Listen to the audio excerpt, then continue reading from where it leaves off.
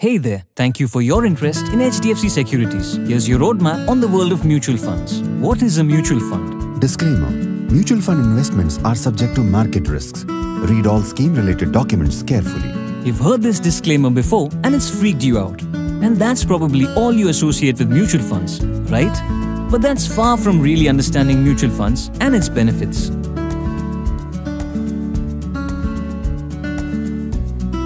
Mutual fund is a professionally managed collective investment vehicle that pulls money from many investors to buy securities. It's more like an avenue that lets you diversify investments across different asset classes and within an asset class. And investors don't have to break their heads over it all on your own because mutual funds offer the big benefit of professional money management expertise and you get it.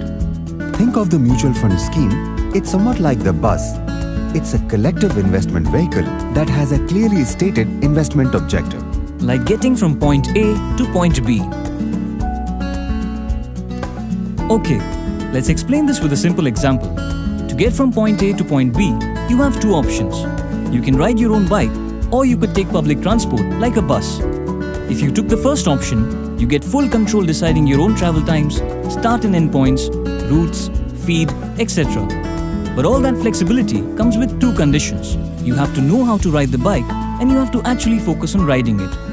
On the other hand, if you took a bus, you may not be able to choose the exact route, but you'd still have the flexibility to read your newspaper along the way without worrying about the drive itself. Moreover, it's cheaper on your pocket.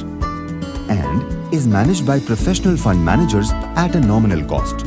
And an investor would invest in the scheme if its objective is in line with his personal needs. By investing in the mutual fund scheme, the investor has outsourced the job of managing his money.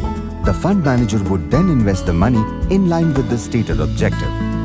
Do the research to select the underlying instruments, build a portfolio, keep track of those investments, make changes when required and so on. Obviously, all these services come at a cost. Like riding your own bike can be more expensive and kind of like investing directly in financial markets. However, Investing in a mutual fund is like taking a bus, where travel costs are divided in a mutual fund scheme. These costs are divided amongst investors based on the amount that they have invested. Mutual funds also offer investors more flexibility, letting them decide when to start investing and, in most cases, when to withdraw the investments. This makes mutual funds an ideal investment vehicle to plan for one's financial goals. Once an investor knows his financial goal to meet the amount and the time horizon, he can easily go ahead and select schemes that can help fulfill the objective. Disclaimer Mutual funds are not as complicated as you feel. And now that you have understood how a mutual fund works, it's in your advantage to invest and reap the benefits they offer. So don't let disclaimers about mutual funds freak you out anymore.